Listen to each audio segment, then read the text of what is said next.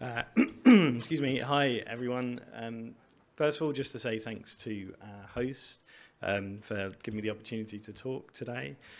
Uh, thanks to you, ladies and gentlemen, for listening, hopefully. um, I know it's getting to the end of the day, so I'm sure you're all getting a bit um, itchy, as it were, to move on. So I'll try and keep it uh, entertaining, or at least a bit entertaining, um, and interesting, and if nothing else, at least brief. Um, so yeah, so I thought I'd talk a little bit about um, technology and some of the things we're doing um, at Broadridge. But first, who Broadridge is. Um, so perhaps we're more well known to, um, to, to banks than, than issuers. Um, our, our core role in investor communications is supporting the communication between investors and issuers, and particularly for, for cross-border investors. So um, part of that is, is outside of proxy, but a good part of that is during the general meeting.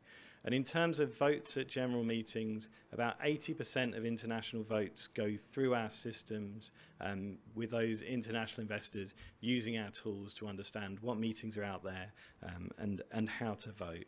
So, so that's who Broadridge is. We've got a huge network. We connect corporate issuers to, as I say, to investors through banks and brokers. Uh, I'm Chris Kelly. Um, yeah, I'm a product manager. I cover uh, Europe for, for Broadridge. Um, so my remit is both regulatory engagement and market engagement, as well as um, technology, uh, and understanding how we can use technology both now and in the future. Um, so uh, I'm also, I suppose, um, I don't always like just talking about theory. So today I thought it might be interesting to look at um, actual opportunities and maybe think about what might change for, for issuers um, over the next few years as a result of technology change and some of the things that we're doing. So I'll start with um, just, just three observations for, for what, um, what that landscape may look like. And some of these we're seeing right now in, in perhaps smaller ways. So um, obviously we have George here. Um, we spoke to um, PERC and, and heard from other um, researchers and indeed um, people working in capital markets.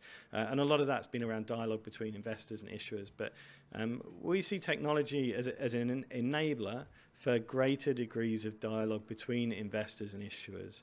So, of course, um, someone like State Street Global Advisors have enough capital and a big enough team to engage with, with companies. Um, but there's lots of you know, lots of much smaller asset managers out there who maybe do less of that, who take better advantage of, of research firms to understand uh, the companies in which they invest. Um, but we think that's going to change over time. Uh, another um, potential observation, it doesn't happen much, but there's been a lot of talk about this, whether it's in the UK's corporate governance code or other corporate governance codes, about investors working cooperatively. How can investors work together to achieve desired change in a company? Um, but we see technology as, as, again, being an enabler of that. And finally, emergence of retail investors and the importance in, in governance outcomes. So the market for, for voting in North America is very different to the rest of the world. Um, and, and there's a very different structure, but what we've seen there is a result of you know, perhaps a more costly um, structure of voting. So retail investors are becoming increasingly critical um, where there's uh, a contested election.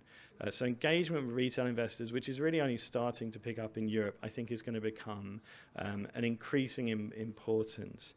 So hopefully I'll, I'll, talk through just a couple of technologies, why we think that's going to change, and perhaps um, you know you might start to think about how you're going to take advantage of those technologies as they emerge, so that these things can be a positive use as companies rather than necessarily a negative. Uh, so I'm not going to spend too much time on education or anything like that. Um, but just very briefly, um, so one area um, that we're working with is artificial intelligence which is, um, I mean, you can see a definition there, but it's generally self-learning intelligence. So algorithms that, if you like, can mimic to some degree what a human analyst might do. There are lots of areas, but three core areas that you might read a lot about. And you probably read more about computer vision and robotics. Those are kind of technologies used in, say, self-driving cars. Um, but there's also natural language processing. That's a lot of the work that um, researchers do today in interpreting written text and coming to conclusions about it. So in terms of how we've used NLP, and this is really um, sort of very early, and I know the screenshot isn't telling you much. This is um, what uh, an institutional investor will see when they're going in to um, vote an AGM of a company. You can see there you've got the elections running down the options for that investor. Now, today, most investors will use uh, research firms to decide how to vote, but we're starting to take in analytics, other data points, so that individual investors can decide what their policy is and use that to very quickly um, highlight where a resolution might be in line with their policy or against it. So, you know, some of those data points are really simple. We're seeing the emergence of pay ratios, for instance, um, in disclosures but we're able to search through those disclosures automatically, pull out the pay ratio, and provide it as a data point so that an institutional investor can go in and say, well, if the pay ratio is over this amount, then I want to highlight that resolution, and then I'm going to look into it more. Um, um, what might this lead to? There's probably not going to be a wholesale change. NLP is a very difficult topic, um, and likely research firms will still be here for a long time to come. But you know, some of those research firms I know are investing in areas like this, and we think this is going to change perhaps the cycle. So rather than investors waiting a long time, um, perhaps towards much closer to the to the meeting to vote, instead they'll have this information almost straight away because an AI, as long as it has enough server space, can just can just run instantly. Whereas if, you, if you're in the middle of a proxy season with a team of analysts, you have to wait until your meeting gets to the front of the queue before that investor has um, has the details to understand how they might want to vote on that meeting. So this is going to give investors more time um, in this in the cycle of a meeting from announcement to a vote um, to um, after they've made their decision, and that opens up opportunities for engagement. So the other area of technology, I'm going to be uh, you know fairly quick because I see the clock's really ticking, um, is uh, blockchain. So we've we've worked quite a lot on blockchain technology, and we see it um, as as very advantageous, as many people do, particularly in the areas of capital markets. Um, so. I, am not going to spend too much time talking about blockchain. Um, it's obviously in the press a lot. Um, but really, it's it's a cryptographically secure way of sharing information. So if you like, you can you can share things while still effectively being secret, and there's lots of advantages to that. Um, you know, and, and some of those are, are, as it says here, security, privacy, and, and integrity, all things that are really important when it comes to voting and when it comes to, to other aspects of engagement. So um, what have we been doing? Well, um, one thing that, that we've put some information out about is um, using blockchain for managing a general meeting.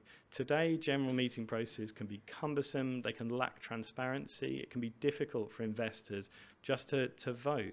It can also be expensive. Um, but blockchain is a, is a technology that is um, traceable. Uh, blockchain is um, is, is there forever. There's no way of manipulating it. So it can be a great mechanism to record meeting information and record votes. But it's also cheap um, once it's set up. So, so after the initial cost, the actual incremental cost of announcing a meeting and collecting votes is, is relatively low. And that has loads of opportunities. And it has opportunities, first of all, for, if you like, saving money for local um, custodian banks and other intermediaries in a chain.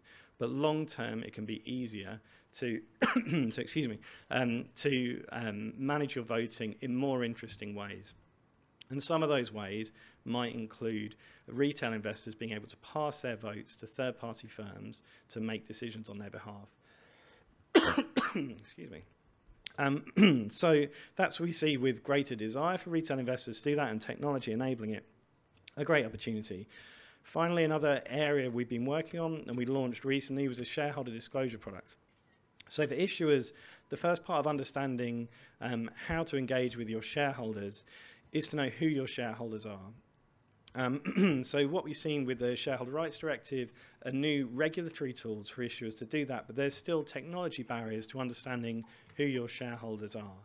Um, we use blockchain to do that. We've worked with a number of banks to build a network so that an, an issue, a corporate issue, a company can make a request and those banks can respond in a way um, to, to, thank you very much. Yeah.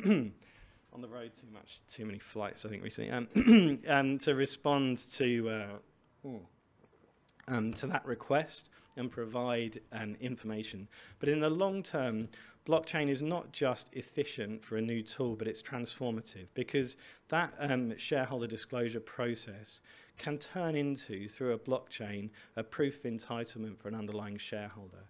That enables greater cooperation because now shareholders can um, work cooperatively without even disclosing who they are and in a way that absolutely proves that those shares are controlled. So where today it may be common for single shareholders to announce shareholder resolutions in order to move over that threshold in the future, through the use of, of technologies like blockchain, shareholders can more easily come together en masse in order to reach an appropriate threshold to start um, putting those new resolutions on the board. So, I mean, that's, you know, really quick. Obviously, we could spend loads of time talking in more detail about the technology and, and how that might happen. Um, but, but those are the kind of changes we see in the future. Those are technologies that are really here. Um, some of them might be a bit slower than others.